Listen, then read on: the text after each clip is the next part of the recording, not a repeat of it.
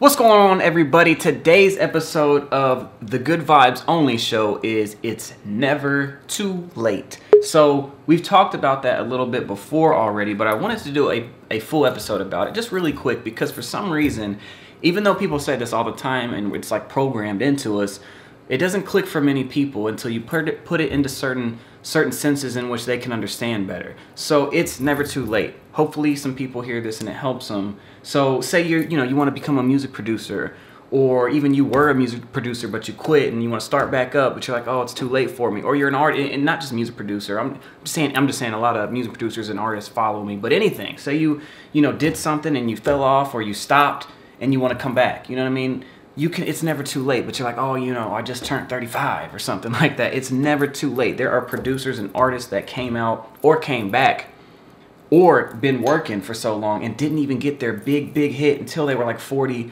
years old. Like that's a fact. There's many of those times.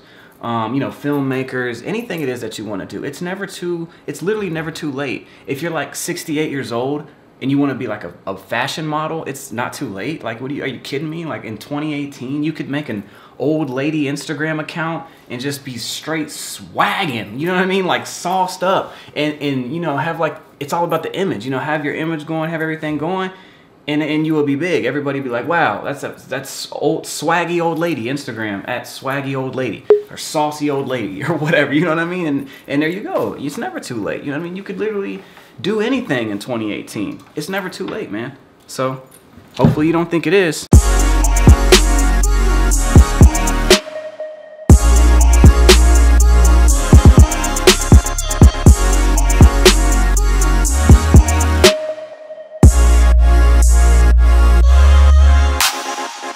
What's going on, everybody? Woo! Not even any kind of plug, but those new Reese cup Easter egg things, man, smacking. Hold on, y'all might not know what I'm talking about. Hold on. We just gonna make this a bloopers reel. Cause this, this ain't no professional intro.